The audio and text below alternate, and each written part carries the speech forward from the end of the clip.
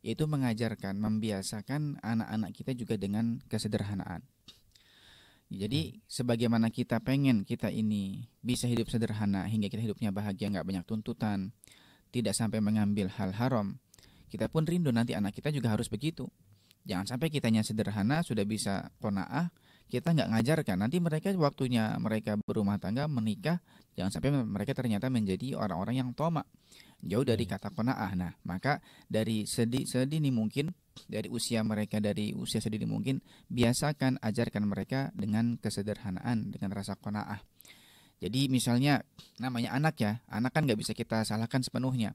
Ketika dia minta mainan misalnya, ketika dia nanti minta uh, dibelikan sesuatu sebagaimana teman-temannya. Nanti bagaimana sikap kita sebagai orang tua untuk bisa ya kita kalau nggak dituruti nanti dia ngamuk kan gitu. Kemudian hmm. kalau kita turuti kita pun memaksakan diri dan juga nanti efeknya adalah dia nggak bisa punya rasa kona'ah. Maka sebagai orang tua itu kita harus bisa me melihat membaca situasi sedini, sedini mungkin. Jadi misalnya kalau kita lihat bagaimana pergaulan anak-anak kita.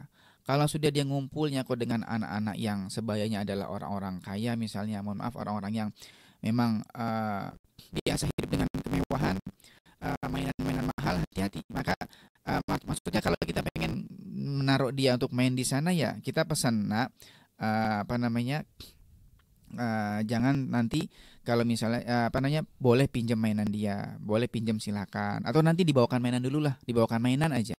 Jadi dibawa dibawakan mainan. Dia misalnya punya mobil-mobilan hebat, bawakan mainan mobil-mobilan yang sederhana nanti bi biar main bareng di sana.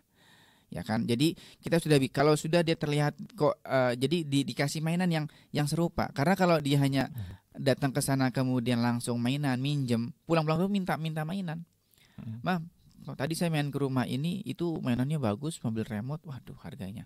Minta Masya dong beliin. Ah, sudah pengen. Maka sebelum dia minta ke sana kita kasih aja mainan gitu. Yang yang menarik tapi yang menarik yang sekarangnya dia sudah uh, bisa untuk asik dengan manusia. Nah, anak kecil tuh nggak bisa banding-bandingkan.